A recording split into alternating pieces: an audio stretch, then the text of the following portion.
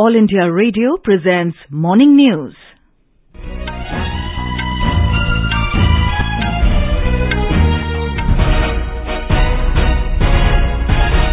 Good morning. I am Sarabjit Kaur. The headlines. Prime Minister Narendra Modi to interact with Pradhan Mantri Rashtriya Bal Puraskar awardee children in New Delhi today. President of Egypt Abdel Fattah al-Sisi to arrive in New Delhi today on a three-day visit to India. IMD predicts widespread rainfall in northwest India during the next three days. Russia and Estonia expel each other's ambassadors in a tit-for-tat move. South Korea beat Argentina 3-2 in penalty shootout at FIH Hockey Men's World Cup in Bhubaneswar. And in cricket, third and final ODI between India and New Zealand to be played this afternoon in Indore.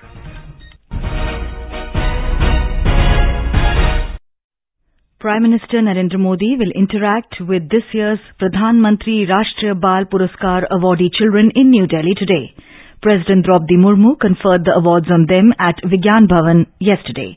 The awards have been conferred on 11 children for their exceptional achievement in six categories which include art, culture, bravery, innovation, social service and sports. Each awardee has received a medal, a cash prize of 1 lakh rupees and a certificate from the President. Speaking at the event, President Murmu said these awards are a recognition of their contribution and dedication to the country. The President said that it is amazed to see the remarkable work done by these children at this tender age. She added, these children are a source of inspiration to many others also. बच्चे हमारे देश की अमूल्य निधि है बच्चों के भविष्य निर्माण के लिए किया गया हर प्रयास समाज और देश का भविष्य संवारता है हम सभी को बच्चों की सुरक्षित और खुशहाल बचपन तथा तो स्वर्णिम भविष्य के लिए हर संभव प्रयास करना चाहिए बच्चों को पुरस्कृत करके हम राष्ट्र निर्माण में उनके योगदान को प्रोत्साहित और सम्मानित कर रहे हैं union minister for women and child development Smriti Irani MoS women and child development Dr. Munjpara Mahendra bhai were also present at the award ceremony. President of Egypt, Abdel Fattah al-Sisi will arrive in New Delhi today on a three-day visit to India. He will be the chief guest on India's 74th Republic Day. President Sisi will be accompanied by a high-level delegation, including five ministers and senior officials. This is for the first time that President of Egypt has been invited as chief guest on Republic Day. A military contingent from the Egyptian army will also participate in the Republic Day parade. The Egyptian president previously visited India in October 2015 to participate in the third India-Africa Forum Summit and in September 2016 on a state visit. India and Egypt are celebrating 75 years of establishment of diplomatic relations this year. Egypt has also been invited as a guest country during India's presidency of G20 in 2022-23. President Sisi will be accorded a ceremonial welcome at the Rashtrapati Bhavan tomorrow. President Draupadi Murmu will host a state banquet in honor of the visiting dignitary in the evening. The visiting dignitary will have a bilateral meeting and delegation level talks with Prime Minister Narendra Modi on bilateral, regional and global issues of mutual interest. External Affairs Minister Dr. S. Jaishankar will call on President Sisi. Our correspondent reports that the visiting dignitary will also interact with Indian business community at a business event during his visit. India and Egypt enjoy warm and friendly relations marked by civilizational, cultural and economic linkages and deep-rooted people-to-people ties. The two countries work closely at multilateral and international platforms. Bilateral trade between India and Egypt achieved a record high of $7.26 billion in 2021-22. The trade was fairly balanced with 3.74 billion Indian exports to Egypt and 3.52 billion imports from Egypt to India. More than 50 Indian companies have invested around $3.15 billion in diverse sectors of Egyptian economy, including chemicals, energy, textile, garment, agribusiness, and retail. Suparna Sengya, AIR News, Delhi. Health and Family Welfare Minister Dr. Mansukh Mandaviya has said that more than 47,000 Nikshay Mitra and 8.8 lakh TB patients have been connected through Nikshay 2.0 portal. The portal facilitates and provides additional patient support to improve the treatment outcome of TB patients. Dr. Mandaviya said the government is making all-out efforts to make the country TB-free by 2025 with people's participation. President Draupadi Murmu launched the Nikshay Mitra initiative in September last year. In Gujarat, the first B20 meet being organized as part of the G20 will conclude today. More than 500 delegates deliberated upon various global issues including climate change, sustainability, digital transformation and financial inclusion during several plenary sessions held yesterday at Gandhinagar. Our correspondent reports that on the last day, G20 representatives will visit Gift City and other tourist places. A report. A special guided yoga session has been planned for G20 delegates at Punit Van in Gandhinagar today. The delegates will also be taken on eco tour where they'll be informed about traditional Indian Ayurveda medicines. They'll also be taken to India's maiden financial tech city, Gift City, to provide an overview of various facilities at Gift City. Later, the delegates will explore Adalajni Vav, the famous step well near Ahmedabad. Aparna Khun, AIR News, Ahmedabad. Uttarakhand Tourism and Culture Minister Satpal Maharaj has said that all tourist places in the state are safe except Joshimath. Talking to the media in Dehradun, he said the government is making all possible efforts to deal with the situation in Joshimath. He said the upcoming Char Dham Yatra will be smooth. Auli जो है पूरी तरह से सुरक्षित है और औली में हम विंटर गेम्स करने जा रहे हैं। आप देखेंगे कि विंटर गेम्स से लोग वहाँ जाएँगे। अभी भी जो बर्फबारी पड़ी है, काफ़ी लोग वहाँ पहुँचे हैं। मैं स्वयं भी बाज़ार में घूमा हूँ, सब जगह घूमा हूँ। ऐसी कोई स्थिति नहीं है। चारधाम यात्रा ये विधिवत रहेगी और निश्चित रूप में जोशीमठ को बचाने के हर संभव प्रयास किए जाएँगे। In Bihar SHO and chowkidar of Lakri Nabiganj police station in Siwan district have been suspended in connection with the Hooch tragedy in the district. Additional Director General of Police, J.S. Gangwar, told AIR that 16 people have been arrested so far.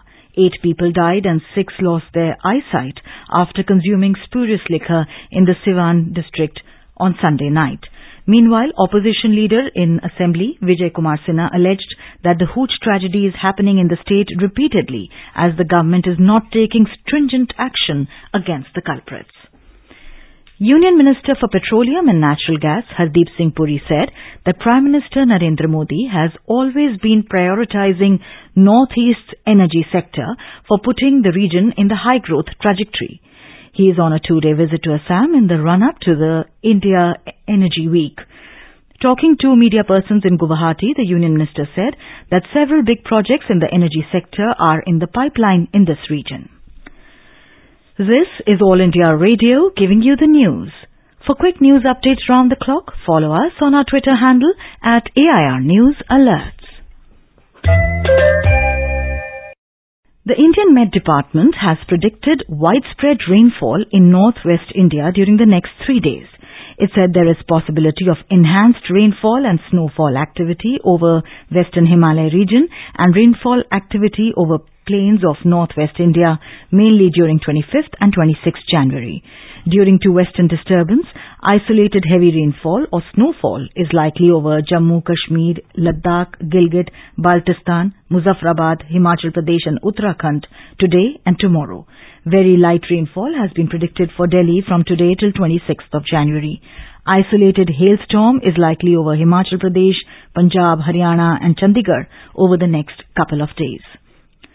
Russia and Estonia yesterday expelled um, their ambassadors from each other's countries in a tit-for-tat move, saying that their diplomatic missions will be headed by chargé d'affaires.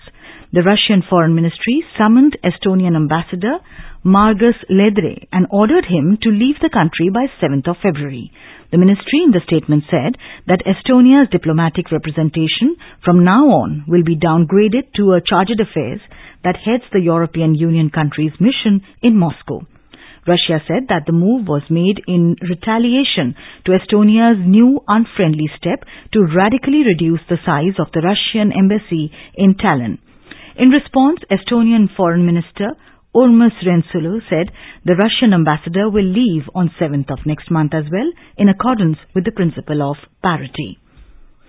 In a massive upset in the FIH Hockey Men's World Cup in Odisha, South Korea defeated Argentina 3-2 in penalty shootout after a 5-5 draw in regulation time at Kalinga Stadium in Bhubaneswar yesterday evening. With the win, South Korea ensured that there will be at least one Asian team in the quarterfinals of the tournament. They will take on the Netherlands in the final eight fixture today. In the first crossover match of the day, Germany entered the quarterfinals defeating France 5-1. In cricket, the third and final ODI between India and New Zealand will be played at Indore today. The match will be played in Holkar Cricket Stadium from 1.30 pm. India will look to clean sweep the series having already won two ODIs. In Australia Open Tennis, Indian pair of Sania Mirza and Rohan Bopanna advanced to the mixed doubles quarterfinals in Melbourne yesterday. The Indian pair defeated the Uruguayan and Japanese pair of Ariel Behar and Makoto Ninomiya 6-4-7-6. Mirza and Bopanna will now lock horns with Latvian and Spanish duo of Jelena Ostapenko and David Vega Hernandez in their last eight fixture today. Youth Affairs and Sports Ministry has formed an oversight committee to inquire into the allegations of sexual misconduct, harassment and financial irregularities in the Wrestling Federation of India levelled by prominent sports persons. It will be headed by Khel Ratna Awardee and Chairperson Athletes Commission, MC Mary Kom. The other members include Khel Ratna Awardee Yogeshwar Dutt and Dhyanchand Awardee Trupti Murgunde. The Oversight Committee will complete the inquiry within four weeks. The committee will also undertake the day-to-day administration of the Wrestling Federation of India during the course of the inquiry. Representatives of the G20 countries will get a chance to witness the art and handicraft of Varanasi in the events which will be organized in Uttar Pradesh in the coming days. Artisans related to the wooden toy industry of Varanasi have been given the task to prepare souvenir which will be gifted to the delegates who will arrive to attend the events related to G20 in the state. More details from our correspondent. Artisans of the wooden toy industry of Varanasi are busy nowadays in preparing souvenirs which will be given to the delegates who will arrive in state to take part in the events. Talking to AIR, Shubhi Agrawal, a skilled artisan, said that they are showcasing the heritage of Varanasi and Uttar Pradesh on these wooden souvenirs. Banaras के wooden lacquer में hand painted mirror frame को choose किया गया है उन्हें gift करने के लिए हम लोग को लखनऊ से 2500 पीस का ऑर्डर मिला है हम लोग इसको पाँच रंगों में बना रहे हैं और इस पे बनारस की जितनी भी कलाकृतियाँ हैं और यहाँ के जितने भी जानवर हैं उन सब के चित्र हैंड पेंटिंग हो रहे हैं A total of 11 meetings related to the G20 conference will be organized in Uttar Pradesh, while events will be held in four cities of the state, including Varanasi, Lucknow, Agra, and Greater Noida. The events are designed to boost economic development of the state and make India's role more important under G20. With Manish Singh in Varanasi, Sushil Chandra Tiwari, AIR News, Lucknow. And now for a look at today's newspapers, it's over to Vaibhav Jyotsna Srivastava. Thank you, Sarabjit. 21 islands named after India's bravest heroes is the headline in the Hindustan Times. The Statesman on its front page carries colourful pictures showcasing glimpses of full dress rehearsal of the Republic Day parade. And finally, in a rare discovery of hatching site of uh, titanosaurs, a huge find of dino hatchery in MP, paleontologists have found 92 nests 256 eggs of titanosaurs in Dhar district, informs the Pioneer. And with that, it's back to you, Sarabjit. Thank you, Vaibhav. And now, before we end the bulletin, the headlines once again. Prime Minister Narendra Modi to interact with Pradhan Mantri Rashtriya Bal Puraskar awardee children in New Delhi today. President of Egypt Abdel Fattah al-Sisi to arrive in New Delhi today on a three-day visit to India. IMD predicts widespread rainfall in northwest India during the next three days. Russia and Estonia expel each other's ambassadors in a tit-for-tat move. South Korea beat Argentina 3-2 in penalty shootout at FIH Hockey Men's World Cup in Bhubaneswar. And in cricket, third and final ODI between India and New Zealand to be played this afternoon in Indore. And with that we end the morning news. Have a nice day.